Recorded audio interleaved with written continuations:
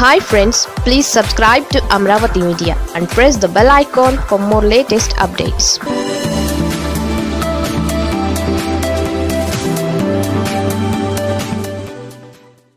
మగాళ్ళు ఆ గుడిలోకి వెళితే అంతే సంగతి.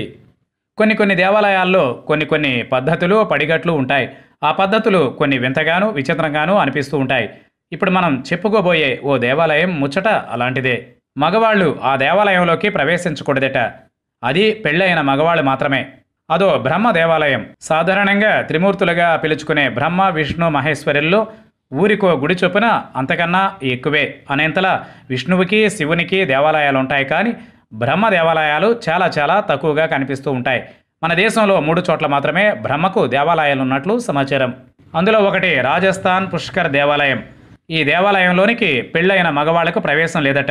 బ్రహ్మ సతీమణి సరస్వతి శాపం కారణంగా ఈ ఆలయంలోకి పెళ్ళైన మగవాళ్ళు ప్రవేశిస్తే వారి వైవాహిక జీవితం అస్తవ్యస్తం అవుతుందని భార్యాభర్తల మధ్య అనూహ్యమైన కలహాలు రేకెత్తుతాయని జీవితం భ్రష్టుపట్టిపోతుందని అక్కడి ప్రజల విశ్వాసం. ఆ భయంతోనే ఆ దేవాలయంలోకి పెళ్ళైన మగవాళ్ళు ప్రవేశించే సాహసం చేయరు. కానీ ఈ దేవాలయంలోని శిల్పకళ చాలా గొప్పగా ఉంటుంది. అలాగే దేవాలయానికి వెళ్ళే దారి చుట్టూ పచ్చదనంతో చాలా ఆహ్లాదకరంగా ఉంటుంది. ఆ వాతావరణాన్ని అక్కడి శిల్ప సౌందర్యాన్ని తిలకించి పులకించేందుకు ఈ ఆలయాన్ని ఒక్కసారైనా సందర్శించాలనుకుంటారు భక్తులు. అయితే గర్భగుడిలోనికి మాత్రమే పెళ్ళైన మగాళ్ళకు ప్రవేశం లేదు.